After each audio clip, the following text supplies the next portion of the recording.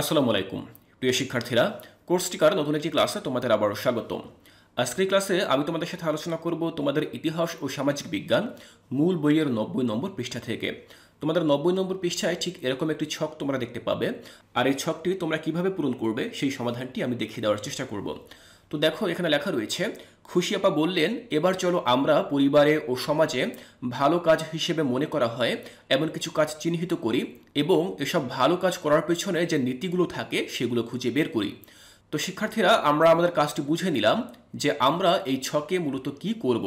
দেখো এই ছকের দুইটি অংশ রয়েছে, যেখানে একটি অংশে বলা হয়েছে, সমাজ স্বীকৃত ভালো কাজের নমুনা অর্থাৎ আমাদের সমাজে স্বীকৃতি দেয় এমন কিছু ভালো কাজের তালিকা আমরা এখানে লিখব এবং একই সাথে সেই সকল ভালো কাজগুলো দিয়ে আমরা মূলত কোন নীতি শিক্ষা লাভ করতে পারি সেটি আবার আমরা এখানে লিখব। যেমন দেখো, এখানে উদাহরণ হিসেবে তিনটি ভালো কাজের নমুনা দেওয়া রয়েছে এবং সেই কাজগুলো কি কি? এক নম্বর বলা হয়েছে, বয়স্ক ব্যক্তিকে রাস্তা পার হতে সাহায্য করা। তো এটি কিন্তু আমাদের সমাজ স্বীকৃত একটি ভালো কাজ, আমাদের এটি করা উচিত। তো এই কাজটি করার মধ্য দিয়ে আমরা কোন নীতি শিখতে পারব? আমরা পরোপকার নীতি শিখতে পারব। অর্থাৎ অন্যকে উপকার করার মতো যে নীতি, সেই নীতিটি আমাদের ভিতরে তৈরি হবে। দুই নম্বরে বলা হয়েছে, অন্যের মতামত মেনে নিতে না পারলেও শ্রদ্ধা সহ শোনা। তো শিক্ষার্থীরা, আমরা কিন্তু অনেক কাজে একসাথে সবাই মিলে বসি এবং আলোচনা করি সেই বিষয়টি সমাধান করার জন্য এবং সেখানে কিন্তু সবাই তাদের নিজস্ব মতামত প্রদান করে। তো এক্ষেত্রে সবার মতামতের সাথে যে আমি একমত হব বিষয়টা কিন্তু এমন না। কিন্তু তারপরেও আমি যদি অন্যের মতামতের সাথে একমত নাও হতে পারি, তার মতামত যদি আমার পক্ষে মেনে নেওয়া সম্ভব নাও হয়, তাহলেও কি করব আমরা? শ্রদ্ধা সহ সেই ব্যক্তির মতামত শুনব। তো এমন একটি ভালো কাজ যদি আমরা করতে পারি, তাহলে কিন্তু আমরা পরমত সহিষ্ণুতা এই নীতিটি ধারণ করতে পারব এবং এটি আমরা লাভ করতে পারব। এরপর তিন নম্বরে বলা হয়েছে অন্যের জিনিস অনুমতি ছাড়া না নেওয়া। অর্থাৎ অন্য কোনো ব্যক্তির জিনিস যদি আমরা নেই, তাহলে সেটি অবশ্যই তার কাছ থেকে অনুমতি নিয়ে নেব। আর যদি সে অনুমতি না দেয়, সেক্ষেত্রে আমরা সেই জিনিসটা নেব না। তো এখন এখানে কিন্তু দেখো নীতির ঘরে খালি করে জায়গা দেওয়া রয়েছে। ঠিক একইভাবে চার, পাঁচ এরকম এই যে বক্সগুলো রয়েছে, এগুলো কিন্তু খালি রয়েছে।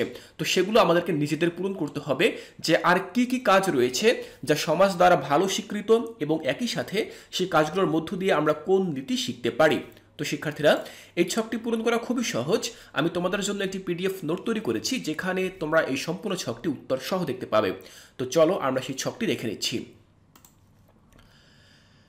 শিক্ষার্থীরা, এই হচ্ছে আমাদের সেই পিডিএফ নোটটি এখানে আমি লিখে রেখেছি আমাদের কাজ কি থাকবে। আমাদের কাজ হচ্ছে এমন কিছু কাজ এবং এসব ভালো কাজ করার পেছনে যে নীতিগুলো থাকে, সেগুলো নীতির ছকে উপস্থাপন করা হলো এবং এই কাজটি রয়েছে আমাদের মূল বইয়ের নব্বই নম্বর পৃষ্ঠায়। তো দেখো, এক থেকে দুই পর্যন্ত যে কাজগুলো রয়েছে সেগুলো আমরা আমাদের মূল বই থেকে দেখে নিলাম। এবার চলো তিন নম্বর কাজের উত্তর আমরা দেখে নিচ্ছি। তিন নম্বরে বলা হয়েছিল, অন্যের জিনিস অনুমতি ছাড়া না নেওয়া। তো আমরা যদি এটি করতে পারি, তাহলে তাহলে কিন্তু আমরা সততা নামের এই নীতিটি শিখতে পারব। এরপর চার নম্বরে আমি লিখেছি, বয়োজ্যেষ্ঠ ব্যক্তিদের শ্রদ্ধা করা। এটির দ্বারা আমরা কি শিখব? আমরা আদব শিখব। পাঁচে লিখেছি, গরিব দুঃখীদের সাধ্যমতো সাহায্য করা। তো এই কাজের পিছনে কোন নীতিটি কাজ করে? এটি হচ্ছে পরোপকার ছয় আমি লিখেছি, সহপাঠীকে পড়া বুঝতে সাহায্য করা এবং এর মধ্য দিয়ে আমরা কিন্তু পারস্পরিক সহযোগিতা করতে পারব। এবং সবশেষে আমি সাত নম্বরে লিখেছি, বন্যা দুর্গতদের ত্রাণ সামগ্রী দেওয়া। তো এর মধ্য দিয়ে আমরা দানশীলতা, এই নীতিটি শিখতে পারি। তো শিক্ষার্থীরা, তোমাদের মূল বইতে এক থেকে তিন পর্যন্ত এই তিনটি ভালো কাজের নমুনা দেওয়া ছিল। বাকি যে চার, পাঁচ, ছয়, সাত, এই যে চারটি কাজ রয়েছে, এগুলো আমি তোমাদেরকে নিজে করিয়ে দেখিয়ে দিয়েছি। এখন শিক্ষার্থীরা এগুলোই কি কাজ? এর বাইরে কি আর কোনো ভালো কাজ নেই? অবশ্যই আছে। এর বাইরে কিন্তু আরও অসংখ্য ভালো কাজ রয়েছে, যেগুলো আমাদের সমাজ দ্বারা স্বীকৃত। তোমরা কিন্তু সেই কাজগুলো খুঁজে খুঁজে এখানে লিখবে এবং একই সাথে সেই কাজগুলোর পিছনে কোন নীতিগুলো কাজ করে সেগুলো তোমরা কিন্তু এই ডান পাশের খালি ঘরে লিখবে। তোমরা নিজেরা চেষ্টা করবে আরও বেশি বেশি করে কাজের তালিকা এখানে উল্লেখ করতে। তাহলে সেটি কিন্তু সবচেয়ে বেশি ভালো হবে। তাহলে আমি আশা করছি তোমাদের মূল বইতে যে নব্বই নম্বর পৃষ্ঠায় এই ছকটি দেওয়া রয়েছে, এটি তোমরা খুব সুন্দরভাবে পূরণ করতে পারবে।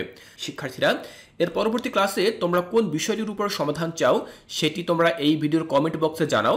আমি চেষ্টা করব সেই বিষয়টি নিয়ে খুব ভালোভাবে, খুব সহজভাবে তোমাদের সাথে আলোচনা করার জন্য। তাই এর পরবর্তী ক্লাসটি দেখার আমন্ত্রণ জানিয়ে আজকের ক্লাসটি এখানেই শেষ করছি।